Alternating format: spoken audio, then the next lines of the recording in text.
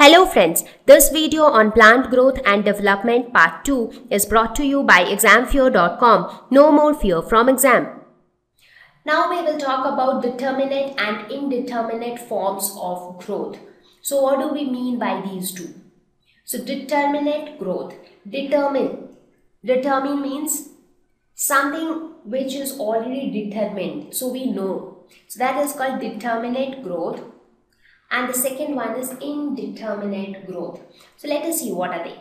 So determinate growth is the one in which the growth of an organism stops at a certain point. So that means we know how much that particular organism will grow. So it will grow only up to a certain point and beyond that the growth will stop. That is called determinate growth. Now most animals have determinate growth. For example, all of us human beings when we were born, we were very cute, very small, right? Small in size. Then we started growing. Our size increased, height increased, weight increased. So everything, the body parts also increased in their respective sizes. And finally, when we become adult, it like the size increases quite a bit when compared to how we were born. But once we reach a certain size, after that the growth stops. For example, when we all are like almost 20, 22, after that there is not much growth in case of human beings. So most of the animals have determinate growth where the animal will not continue to grow throughout their life. They will grow only up to a certain time. Now, if you talk about plants and plants also, there are certain parts, for example, the leaves, seeds, fruits of the plants, they all have a, a, growth limit. So if you look at the leaves of the plant, if, if they keep on growing throughout their life, I mean, you will actually end up having huge leaves, but that is not the case. They also grow only up to a certain size. So here you can see in this plant, these leaves are very small so they still have scope to grow so they will grow. But the leaves which are at the bottom these leaves they are already grown up and they are not going to grow any further. So leaves seeds fruits they all are examples of uh, parts of a plant which show determinate growth. So now the question is why the growth stops? How who stops the growth of the plant now the growth stops due to the production of some retardant hormones. So some hormones are released which actually inhibits growth. So these hormones are released at specific sites, for example at leaves uh, or at the fruits and that is why only these sites growth stops. So that is why as I said there are some parts of the plant which show indeterminate growth that is they keep on going growing throughout their lifetime. But there are some parts like leaves which show determinate growth due to the presence of some retardant hormones which uh, inhibits growth after a certain time. Let us now talk about indeterminate growth. Here growth continues as long as it leaves. The, as long as the plant leaves, growth will continue. It is also known as open form of growth. Now since it continues forever, that is why it is called open growth or open form of growth. Now, mostly plants show indeterminate growth. That's because this is that's because this is found in the roots and the shoots. And that is why you see the roots keep on growing. So the bigger the tree the deeper the roots are. So the roots also get like extended and they are deep seated inside the soil. So the roots as well as the shoot. So if you see look at the shoot there also branches keep coming up new branches keep coming up and that happens because of indeterminate growth. So the roots and shoots of the plant show indeterminate growth as a result of which if you see the size of the plant keep on increasing over time so now the question is what causes indeterminate growth in plants? Why do some plants keep on growing throughout their life? Who is actually making the plant grow so much? So what causes this indeterminate growth? That is because of the presence of meristems. You remember while we were talking about the different types of plant tissues, we spoke about meristematic tissues, right? So they are nothing but the meristems. So these meristems are present at certain locations in a plant and due to the presence of these meristems, growth is always there because the function of these meristematic tissues is to divide. So when they divide, more cells are formed. So when more cells are produced, cell growth is there. So that is how growth takes place due to the presence of meristematic tissues or meristems, whatever you call it. So now when we talk about meristems, they are primarily two types of apical meristems which are present in a plant. That is the meristems which are present at the tip of a plant part. They are called apical because apical, the term apical mean is derived from the term apex and apex means tip. So there are two types of apical meristem that is root apical meristem and shoot apical meristem. So the meristem which is present at the tip of root that is root apical meristem while the one which is present at the tip of shoot is the shoot apical meristem. Now you can understand what causes indeterminate growth in roots as well as shoots. So since at the tip of the root you have the meristems so cells will divide new cells will be formed. So the roots will keep on growing. Similarly at the tip of shoot also you have apical meristems which will keep on forming new cells and therefore growth is observed at the shoot tips as well. And as a result of the presence of these apical meristems, the length of the plant would increase. Above it will increase because of the increase in the shoot and below it will increase because of the increase in length of the root. So due to the presence of apical meristems, the length of the plant would increase.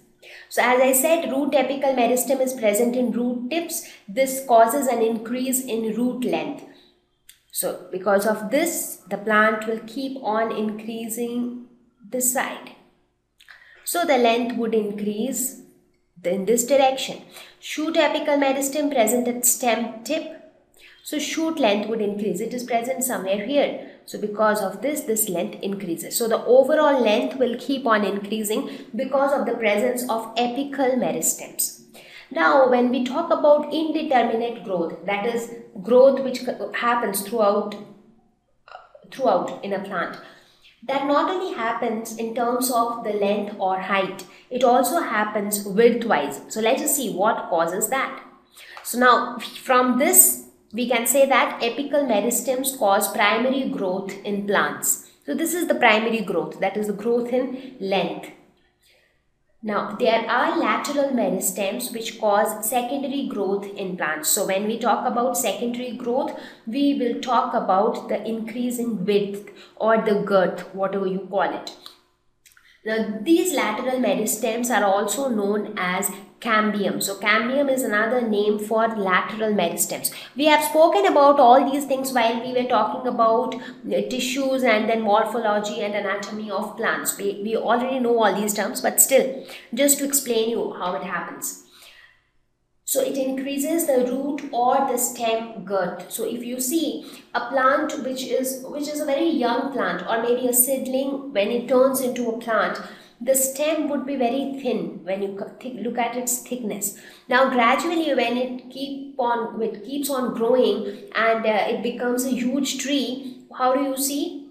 The same stem has now turned into a bark which is very thick, hard and tough right so this that means over a period of time it is not only the length of the stem and the root which is increasing or growing it is also the thickness which is growing and this growth in the thickness is known as the secondary growth in plants. And this secondary growth is caused by lateral meristems which are also known as cambium. Now this cambium are of two types vascular cambium and cork cambium. So if you actually take a cross section of this uh, stem you can actually see the presence of vascular cambium. So here you have the vascular cambium layer and outer on the outer side you have the cork cambium layers so these two layers will form new cells and that is how it will keep on adding layers for example initially there were two layers but now these two layers are present now these two layers maybe let us suppose this is the vascular cambium and this is the cork cambium so these two layers in turn will produce additional layers both on their outer side as well as their inner side now, when they produce new layer of cells, what will happen? The thickness is gradually increasing with time. So these cambium by forming new cells by cell division, they give rise to new layer of cells and as a result, the thickness or the girth of the stem and the root increases. And this is known as secondary growth in plants. Okay, so now we talked about determinate and indeterminate growth and what causes both of them. Now the question is, how do we know that a plant is growing? So one simple answer that you can give is, if the size of the plant is increasing, that means the plant is growing. Okay, so that is a very, uh, what do you say, a superficial answer. It is like, okay, you see it from outside. If you see the size is increasing, you say that the plant is growing. But when will the increase in size become noticeable let us suppose if you uh, if you plant a small plant in your garden today so tomorrow will you see a noticeable growth or a noticeable increase in size no i think even after five three or four days also you will not see a very noticeable growth as far as size is concerned but how do you know whether the plant is growing or not so when we talk about the growth of a plant it can be measured. Now the question is how can we measure the growth? So whenever we say that a plant is growing, we actually mean to say that the amount of protoplasm in the plant cells is increasing. Let us suppose this is one plant cell.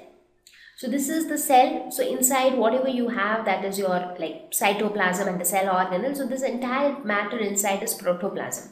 Now if this cell increases in size, say the same cell got enlarged and it became like this. So what will happen? The amount of protoplasm would increase or let us suppose this was a single cell before. The cell underwent cell division and it formed many cells. So now in this case also the amount of your protoplasm increased initially it was only in one cell now it is in five cells so the protoplasm amount also became five times. So whenever growth will happen whenever new cells are formed or the cell enlargement has happened or area has increased or the volume has increased so whatever the case may be the amount of protoplasm will also increase. Now the question is in order to know whether a plant is growing or not we need to measure that increase in the protoplasm. So what are the different parameters looking at which we can say that a plant is growing? Increase in length of course that is one factor so if you see a noticeable increase in length, but that is not the only one because sometimes the increase in length is not that noticeable. Increase in width, maybe the thickness of the stem is increasing. Increase in volume or the amount of material contained inside the plant part is now more. So the volume has increased. Increase in area, for example, if you take an example of leaf, so the growth of a leaf can be very easily judged by looking at the area of the leaf. So eh, on the, the picture also you can see that this has got a smaller area while this has a bigger area. So you can say that okay it is growing. Increase in weight. Okay. So when you talk about weight, almost all plants contain a lot of water. So if you directly take a plant part and weigh it, you are actually weighing the fresh weight of the tissue present in the plant. But one another way of weighing it is you remove all the water from the plant, you dehydrate it completely and then you measure its dry weight. So if by looking at the dry weight also you can say whether the plant is growing or not because if the plant is growing the weight should also increase. So if there is an increase in weight then we can say that yes the plant is growing. Now see there are so many different ways by which you can say whether a plant is growing or not.